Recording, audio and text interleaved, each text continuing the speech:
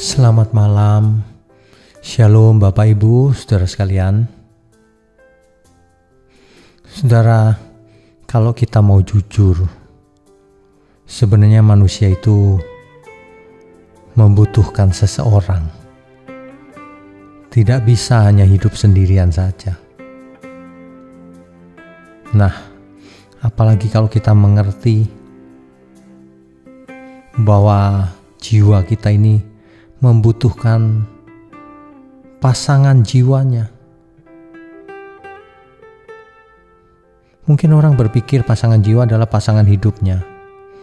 Ya, itu boleh-boleh saja, tetapi saya lagi bicara pasangan jiwa yang sesungguhnya. Tentu saja Tuhan, saudara. Cuma sayang, di zaman sekarang ini, di zaman postmodern ini, orang-orang seperti tidak tertarik gitu dengan Tuhan. Tetapi anehnya takut mati juga. Dan kalau ditanya setelah mati ke mana, tidak tahu tidak ada solusinya. Nah kan aneh ya. Kita itu harus tahu khususnya orang yang percaya bahwa kita itu harus mendekat kepada Tuhan. Jangan berteori tentang Tuhan saja. Harus benar-benar ada hubungan antar pribadi. Tuhan Yesus mengajar kita punya Bapa di surga. Kita itu anak, saudara. Anak dan Bapak itu akrab harusnya. Makanya kalau ada orang yang ber, berkata aku tidak bisa berdoa pak, itu salah mengerti pasti. Dia pikir doa itu pakai kalimat indah-indah, kalimat doa gitu. Bukan. Kita harus berdoa dengan tulus sampaikan saja seperti kita bicara kepada Bapa kita. Apalagi yang hafalan. Bicara sama Tuhan kok hafalan. Tidak perlu, Saudara.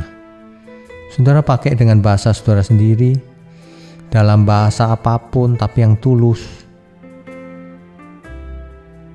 Cari Tuhan, Saudara, selagi masih ada waktu Pemasmur memberikan contoh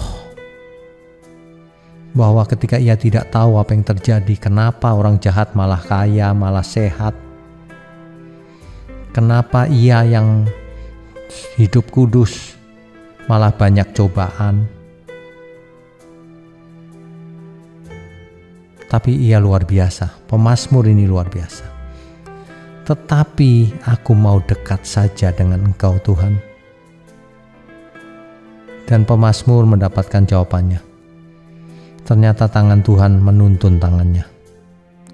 Dan ternyata kesudahan orang fasik itu binasa. Saudara, mari kita belajar mendekat kepada Tuhan. Bukan secara teori. Coba libatkan perasaan kita berdialog dengan tulus. Cari Tuhan, saudara.